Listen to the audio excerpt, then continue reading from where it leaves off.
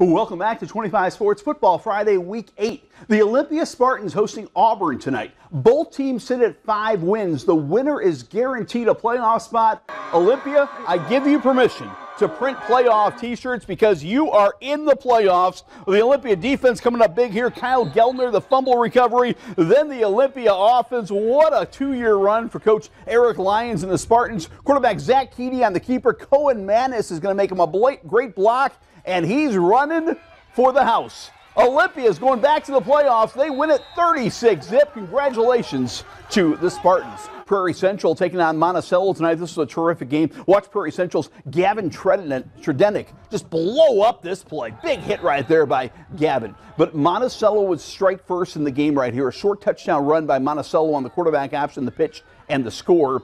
Now, Prairie Central is going to come back. They got a big game out of number 10, their junior tailback, Hudson Alt. Watch Alt break into the clear for the long run right here, but you see the score. Great football game, but Monticello's the winner by a final score of 21 to 13. Also from the Illini Prairie Conference, it's IVC hosting Pontiac. For Pontiac, it's going to be Riley Johnson running hard right here for Pontiac. IVC comes back with a great run by Brendan Coventry. Watch Coventry get to the corner. A terrific run off the quick pass right here. And Coventry takes off for big yards for IVC, but Pontiac is going to keep the ball out of the end zone. It's their freshman with a great name. Amazing King is his name, and he gets the interception. Pontiac gets the win 32 to 14 in this one. Normal U High needs a win tonight to go into the playoffs, but Lincoln scores a touchdown here to go up 21 to 14 late first half. That's when the game turned on two big plays by Alec Weiland. What a year Weiland's had at quarterback. Look at this strike to Cade Cunningham, who gets behind the defense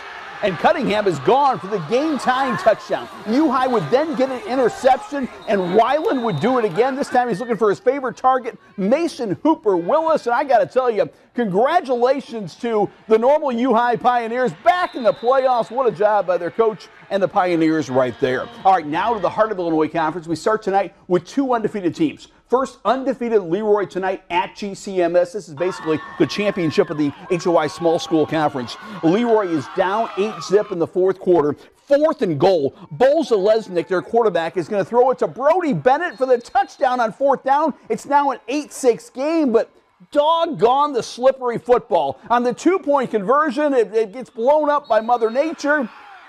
Ah, GCMS beats Leroy 8 to 6 the final score. The Tri Valley Vikings are also undefeated as they take the field for their game versus Tremont tonight. Second play of the game, Cole Klein.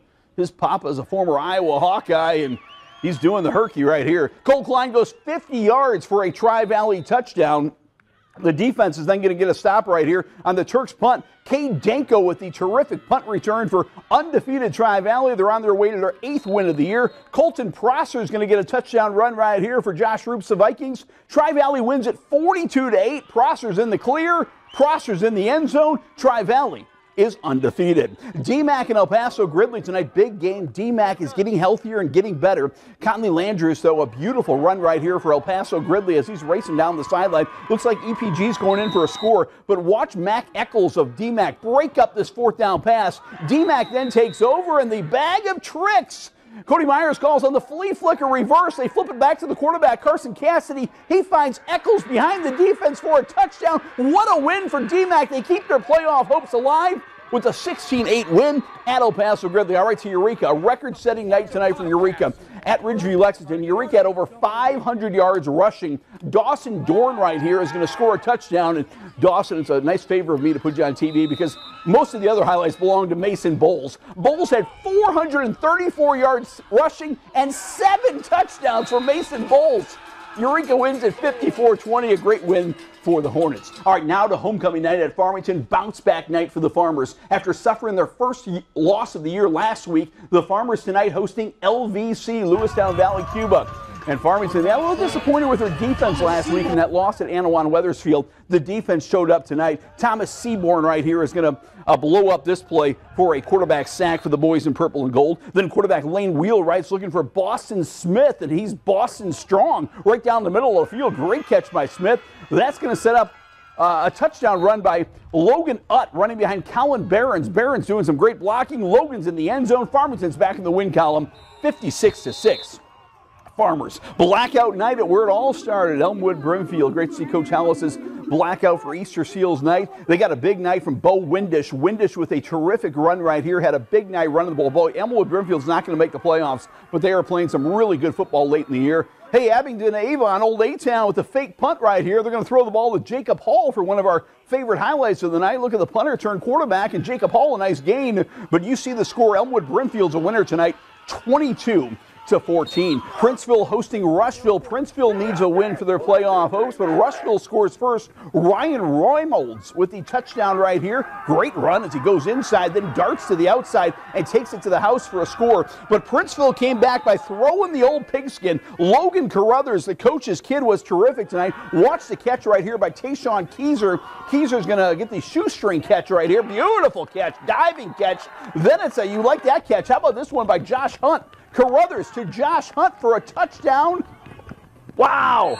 Princeville wins it 26 to 12. Also tonight, Heyworth a winner and Stark County a winner. Stark County is 8-0. Quickly to cross country, Middle Illini Championships at Detweiller today. In the girls race, Washington Sophia Ramirez, the individual champ. The Panthers, the team champ. In the boys' race, Morton's Josh Weeks is the individual champ. The Potters, the team champ. If you love volleyball, you got to get to the Shirk Center. I'll be there tomorrow for the big Bloomington Central Catholic Saints Fall Classic. I was there tonight. Normal U High went 2 0. Levin Snow, the big kill. Metamora went 2 0. Avery Bedwell to Hannah Yoder for the tip. Morton went 2 0. They rallied to beat Lincoln. A great win for the Potters. More football is next on 25 Sports Football Friday.